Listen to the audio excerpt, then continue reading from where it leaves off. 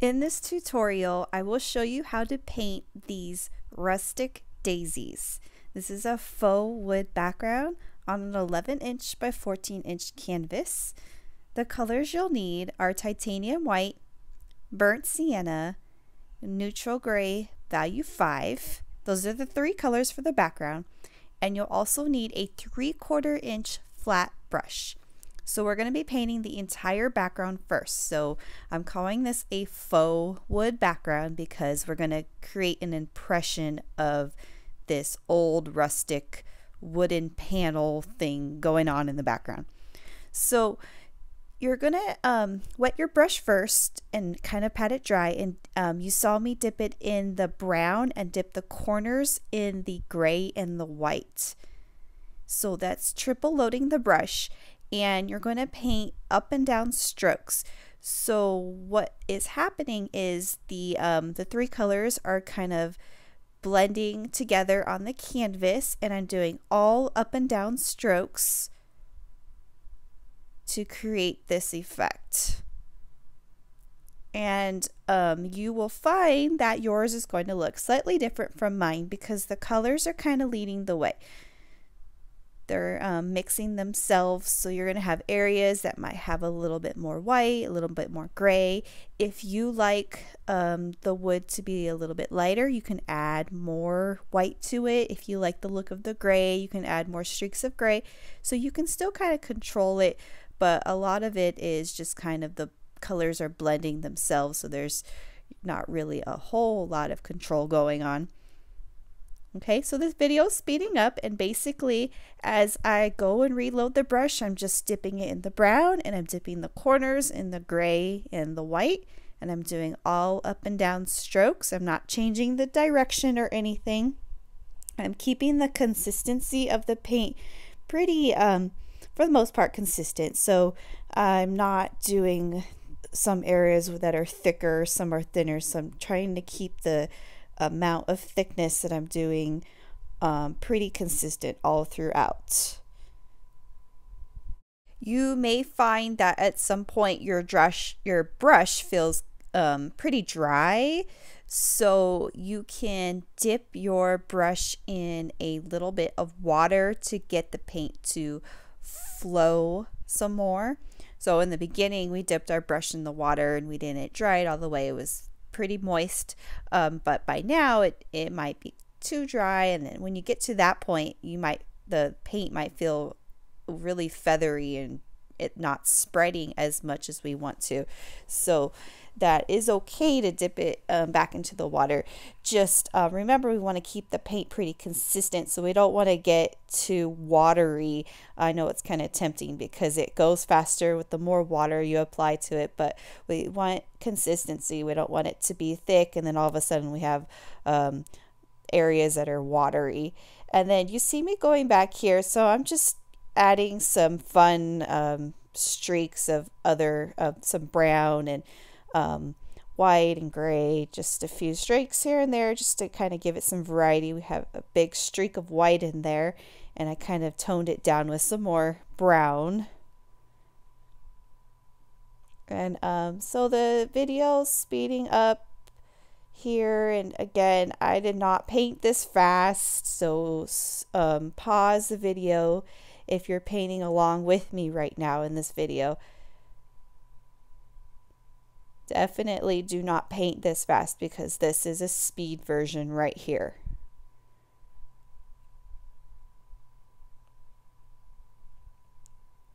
Okay, so when you are done with the wood part, so I painted the sides. That was not recorded, but that's what I did. I painted the sides. And you want to wait for that background to dry just a little bit. It doesn't have to be completely dry, but mostly dry because we're going to do divide the wood up here and we don't want the brown to be too wet. Um, but it doesn't have to be completely 100% dry. So I'm using the color Mars Black and I'm using a flat brush. This is a number 12 flat brush and I'm going to divide my wood into panels here. I'm going to do a line right in the middle and I'm not using a ruler. You can see how not good I am at making straight lines. I can't paint a straight line to save my life, um, but I um, I kind of liked the look of the uh, made it the freehand look. So that's why I didn't use a ruler. So if you want to use a ruler, by all means, the T-square ruler really helps for this step. Um, so what I'm doing, I divided it in half and then I'm going to divide it in um, half again. So there's going to be four panels. So I divided, essentially I divided it into quarters. So a, a vertical line, and I'm using the, the tip of my brush. So the flat brush on its side with the Mars Black. Okay, and then I'm going to make some horizontal staggered lines and to make it look like there's panels. I'm just using the tip of the brush to make the horizontal line and you can see how crooked my horizontal lines are here too. And then I'm going to create some um, false looking nails in the panel. So I'm just using the round brush and I'm kind of kind of twist that brush there to get it to a nice point. I do that when I'm going to um, paint dots. So you have your round brush and when you twist it on your palette, it makes that the paint go right to the point and it makes that point of the round brush form. So I'm doing, um, I did one nail on the, this panel and then I did uh, double nails on some of the other panels a very minor detail that you hardly even notice in the end of this painting, but it makes it look kind of like these are wood panels, very simplified version of what a wood panel painting would look like. Okay, so now my painting is completely dried. I actually used a blow dryer to dry my painting and I have my traceable. This is a mason jar uh, traceable and I have that in my traceable library. And if you did my uh, lightning bug mason jar painting, it is the exact same traceable for it, only I am cropping it. So this um, the mason jar is only halfway up the canvas. It's cut in half and it's on the very bottom. So I'm not doing the full mason jar, I'm just doing the bottom. And there's a sheet of white graphite paper underneath. So um, this is a regular pencil and I'm going to trace over the mason jar and it will transfer to the canvas. So the white graphite paper, because the painting is dark in color, the white graphite paper is um, optimal so that you can see the drawing. Okay, so the next step I'm going to do is outline the mason jar with paint. I drew it, now I'm going to outline it with paint. And I'm going to use the two colors, titanium white and primary blue, and a number four round brush. So that same brush that we used to do the little nails in the panels, it's the same brush. And um, so I have the, those two colors and I'm just going to kind of double load my brush, but I'm going to kind of swirl it on the canvas. So I have a swirl of white and primary blue on my brush. And what's going to happen is when I paint, I'm going to get an uh, inconsistent color of the white and blue. It's going to kind of change colors here when I paint because the brush will pick up on the blue and the white depending on how the stroke goes and you'll see what I mean here in a second. Um, so basically everything I drew with the mason jar um, when I transferred it I am going to draw um, paint over those lines. So um, with the blue and white. So some of those lines are more bluish, some are more white because of how I'm loading my brush.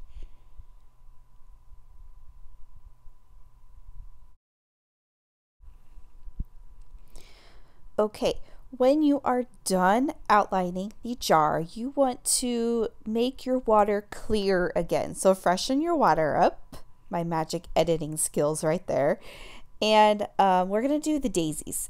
So um, you need the colors titanium white and cad yellow deep. So those two colors I loaded on my palette and you'll need your number four round brush. Make sure that is all rinsed off. Very important about the water um, being clear because we're going to um, these light, light colors. We have the white, the yellow, and the daisies. We don't want any yucky water mixing with the colors, making them look darker when they should be bright.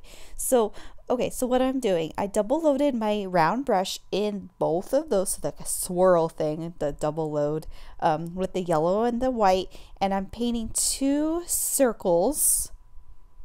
Um, basically, they're just kind of um, different heights. So one is lower, closer to the jar, one is up high and I'll make this one kind of the same height as the other one, maybe a tiny bit higher. So three circles that are kind of staggered at different heights. These are the centers of the daisies. The reason why I'm doing the white with the yellow is the yellow would not show up. Um, it would show up, but it would be too see-through because white or yellow is such a translucent color. So adding the white in it makes it so it's more opaque. Okay, so now I'm going to completely rinse my brush and do the petals of the daisies. So this is just titanium white. I'm still using the four round brush and I'm going to paint daisy petals. So um, a very basic petal shape and this is going to take some time but it's super fun and you're just going to paint that all the way around that circle This is my first layer of petals. And um, it's the yellow is not dry yet here for me. So um, you want that petal to be touching the yellow, but we, you just want to be kind of careful that you're not dragging the yellow with the petal. So just try to get it as close as possible. And then um, since these daisies are facing um, forward, facing the viewer, uh, all of the petals are kind of the same length. Um, just kind of estimate that. So they're going all the way around the circle and they're about the same length. So this right here is the simplified version of the daisy and you can leave it simplified um, but I'm going to take this a step further and I'm actually going to layer on some more petals. So these petals are overlapping the petals that I originally did.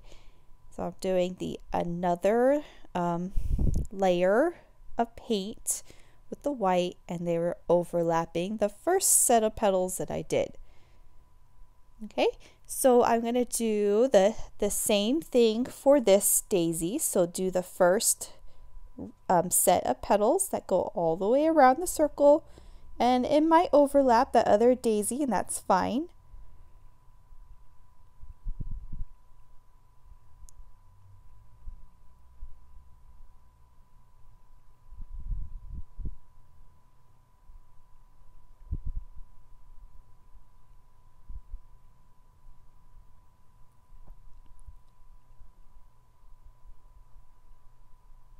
And then do um, I kind of did that as I went along. Do the petals that are kind of overlapping the first set of petals. So super simplified. And then I'm going to do um, the one over here on the left. And um, when I did this painting, I decided that this daisy needs to be um, like a different angle. So I decided to um, turn the middle part into um, more of a dome shape here.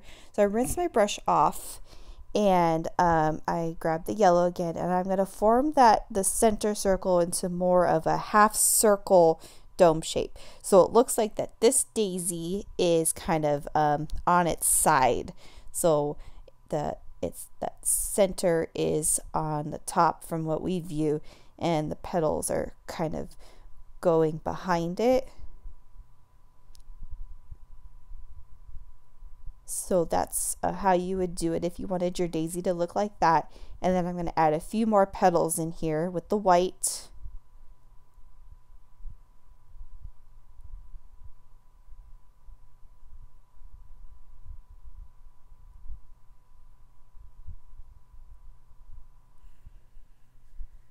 Okay, so we have a different angle for this particular daisy.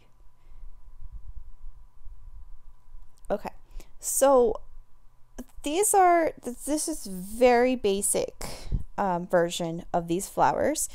And um, I decided to add a little bit of shadowing on the center part of the daisy. So I grabbed the primary blue and I'm just making these little lines that are in the middle, um, the bottom of the petals surrounding that circle with just the primary blue. So going from that circle and just kind of dragging that blue kind of upwards to give just a little tiny bit of shadowing in the center part of, daisy, of the daisy so it's not just all white.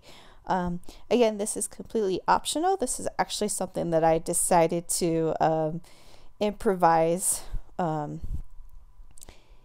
while I was recording this video because the original version that I'd painted didn't have any blue in the centers, but I decided, oh, I felt I feel kind of daring. I'm going to add some more details into this. So you decide if you like that or not. If you like, if you want to go detailed, or if you like the simple version. So it's up to you. And um, so next, I'm adding a little bit of dark in the center part. So that's the burnt sienna, and I'm just going to do little dots in the center on the yellow parts of the daisies with the burnt sienna.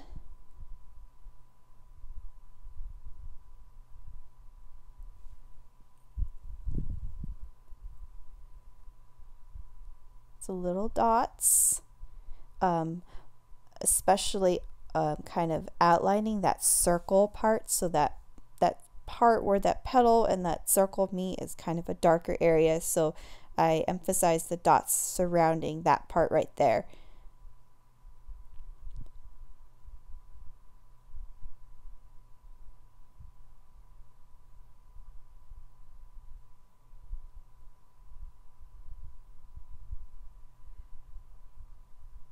And then you can grab the yellow again and kind of go back over the yellow. And when that yellow kind of blends with the brown it creates um, some more color variation in and texture. We're doing a lot of texture right here with that center part. Okay I'm going to rinse my brush off and I'm going to go back and um, touch up the, the shading here. So um, with the white and I'm going to do another layer of petal and I'm just going to kind of tone that blue down a little bit. So basically kind of blending that blue with the white by adding another um, layer of paint where that the white part of the petals are. So you see that blue kind of fade back and the blue is mostly right there in the center next to that yellow.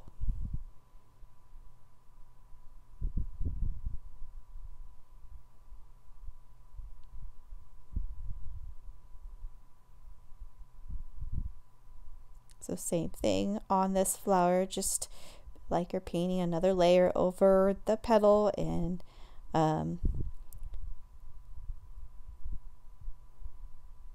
there we go. Okay, so done with the daisies and now we're going to do the stem. And I did the stem with Hooker's Green and um, the four round brush, the number four round brush, and titanium white. So I double dipped my brush in the green and the white and I'm painting the stem. So I'm going to start in um, the jar and I'm going to go up. So if it's easier for you to start from the flower and go down to the jar, that's that's fine. It doesn't matter if you start up or down. I just decided to start down. Um, the way I did my stems is they kind of um, bundle up in the middle on the bottom. So um, the stem can kind of go any direction, but it meets all three of the stems meet together in the middle on the bottom in the jar. And then don't worry about um, the fact that they're in the jar. I overlapped that stem over the jar. I wasn't worried about um, oh it's got to look like it's in the jar so i can't paint over this line. So don't worry about that yet. We will uh, fix that later when we go back and detail the jar so all I'm doing, all I'm worrying about is my stem getting inside the jar here. So that green and the white kind of vary together when you double load the brush. Um, if, if you don't if you don't feel as controlled with the round brush, you can also try it with that 12 flat brush. When we did the paneling in the background for the wood, you can use that on its side and that'll give you a little bit more control with the stem.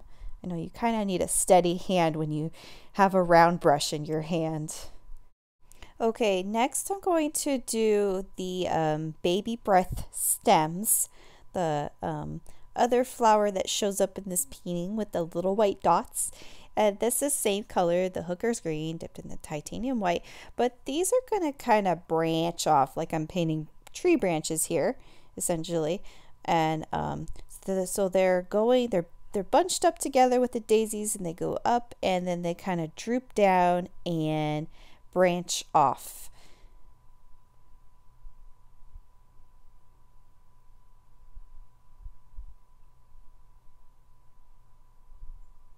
Okay, I'm going to do this exact same thing on the left side.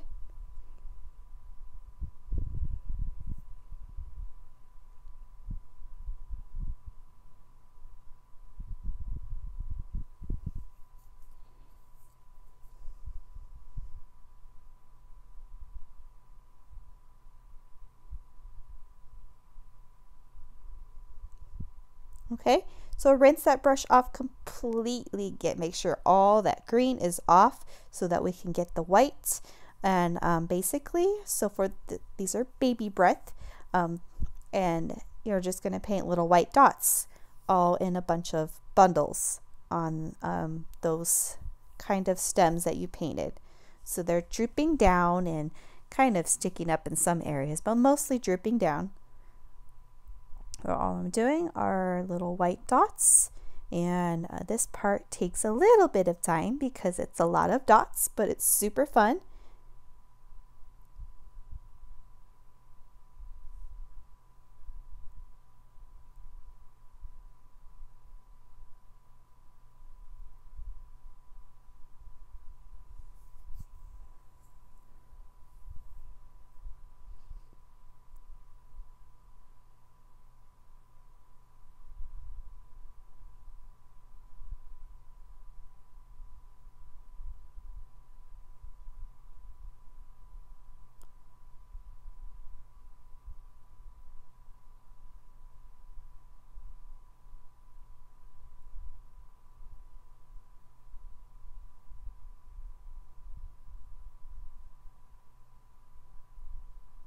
Okay, and then I did a little bit of touch up in those petals up there.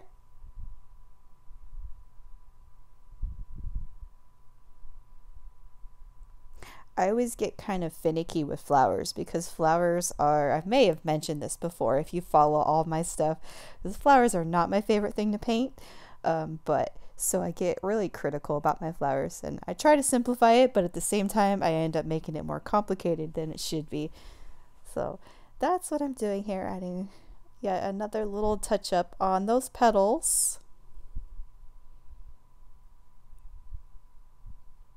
And then adding a few more dots into the baby breath.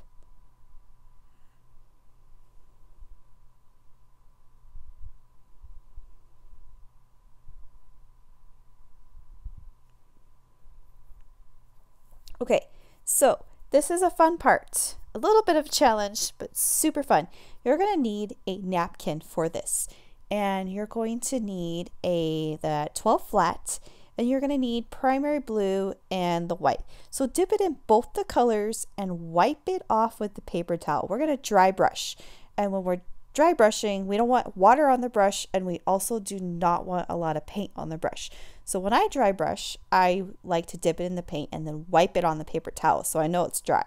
Not a lot of paint on my brush. So I'm just going to do um, these streaks of dry brush strokes on the jar. So they're kind of going horizontal, but they're kind of contouring on the side of the jar. Okay. Um, we can go crazy with this and fill it up, all up, but we don't want to because it's glass and it's not completely solid in that color. So less is more here. So just a few streaks and maybe there's a streak that's kind of going curved and horizontally And you can use the brush to kind of fill in some of the rim part of it and the rim in the back. And you also kind of want to pay attention to your stems here. So where would those stems be overlapping? Where would the stems be looking like they're going inside the jar? You want to kind of figure that out here. And this is the point where we want the stem to be showing in the right places. So it's not like an optical illusion painting or anything like that.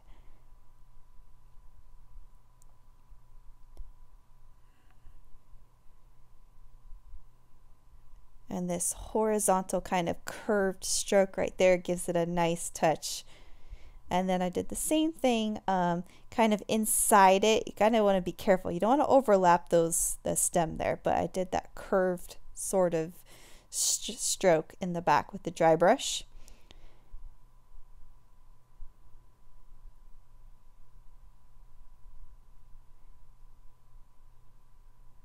If you find that that flat brush is too large to paint those rims, um, so I'm dry brushing the rims. I basically just kind of um, outlining them again, you can switch to a round brush and that'll help you more. So I'm going to show you here using the round brush to re-outline the rim in order to make it look like it's overlapping the stems in the right places. That um, gives you a little bit more control um, because it's such a small area. Okay, so next we're going to do the ladybugs, the little ladybugs that are flying around. And um, Naphthol Crimson, Mars Black, and Titanium White are the three colors they use for their ladybugs. And because the red is translucent, we got to white out the wings first. So I'm going to do the wings in solid white first. Um, so I did this kind of half circle thing going on with the wings. So I did the wings are open. So I did um, kind of a curve smiley face shape, and then I did two curves to form the the wings. And I'm using the 10-0 liner brush. It's the first time I'm using this brush in this painting. It's a the smaller than the four round. It's a, a very small round brush for small details, perfect for the ladybugs. And um, so those are the two wings that are open. I have to wait for that white to dry completely before I can paint it red. I mean, you can get your blow dryer out and dry it real quick and then paint it red. But I'm going to move on to the black part of the ladybug. So I did the, the body. Um, so I did kind of a curved line filled it in solid with the black and then I did the head.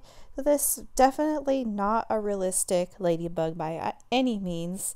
Um, not even proportionate to the daisies because in proportion to the, the size of the daisy, these are huge ladybugs, but they're still super cute. And um, I did the, the head. So the head is um, facing the bottom. This ladybug's kind of awkward looking and then I did the little antennae.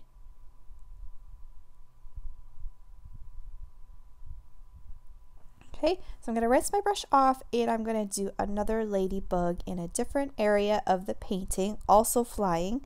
And I'm going to start with white again, so two half circle shapes for the wings.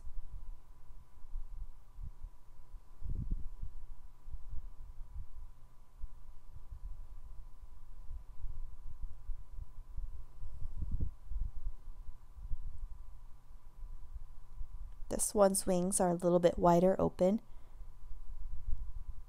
And then rinse my brush off and do the black again. So the, the body and the head with the antennae.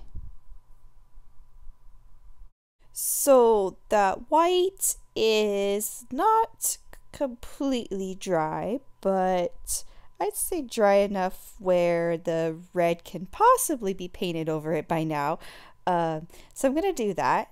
I am going to use the Naphthol Crimson and I'm going to paint the wings white. So this is going to uh, allow your red to be nice and bright because we have the white layer of paint. And I'd say if it wasn't dry, that red would be mixing with the white and it would turn pink. So use um, a blow dryer or something to get it to dry if you're not very patient like I am. Um, I'm impatient, so I didn't wait for it to dry completely, but it's not turning into pink, so we're good.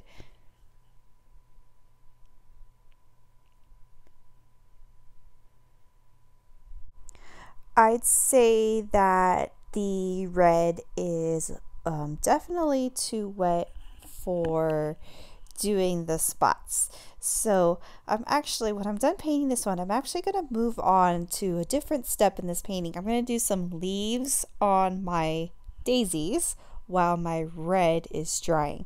Um, so for the leaves, I am going to use my 12 flat and I am going to double load it in the hooker's green and the white. I'm going to get my 12 flat, I'm going to get it, make sure whatever colors on it is rinsed off. I am going to dip it in green and white. Um, just kind of load it in both of those colors and I'm going to do a leaf. So for, for the leaf, I'm going to start out with my the brush, the full width of the brush. I'm going to press kind of firm and I'm going to turn. Press firm and turn on its side. When you turn the brush on its side, your stroke becomes thinner. When you use the full width of the brush and put pressure, your stroke is thicker. So when we go from thick to thin, we create the leaf shape. Uh, this is very similar to one stroke style painting. If you've ever done anything like that, the folk art style painting, that's kind of what I'm doing here um, to form these leaves. So um, it's kind of all about the movement, the flick of the wrist. So you start out firm and using the full width, you twist it and it, the stroke gets thinner. And then um, so I'm going to start this one um, so I start right there at the stem. So full width twist and turn to create the shape of the leaf. And I'm going to repeat that for um, the rest of the leaves. And you notice that the green is so varied in color. That's what happens when we double load the brush um, we get different consistencies in the green. And I'm not even um, purposely loading the white on a certain side of the brush here. Um, neither the green. I am just dipping it in the white and dipping it in the green, not mixing them all together. It's just an unmixed of the green and the white. Um, okay, so assuming my red is dry by now, it probably isn't, but um, actually, what I did here was I just kind of, uh, with the round brush, made a little bit of a the line in the center of the leaf. That's what I'm doing with the green. It's hardly noticeable, but that's what I did.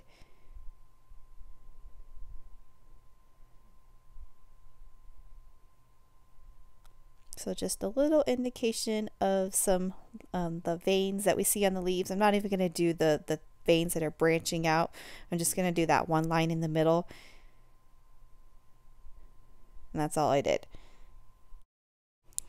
Okay, now I'm going to move on to the dots of the ladybug. So I'm going to go back to the 10-0 liner and the Mars Black and all I'm doing is the little dots on the ladybug wings.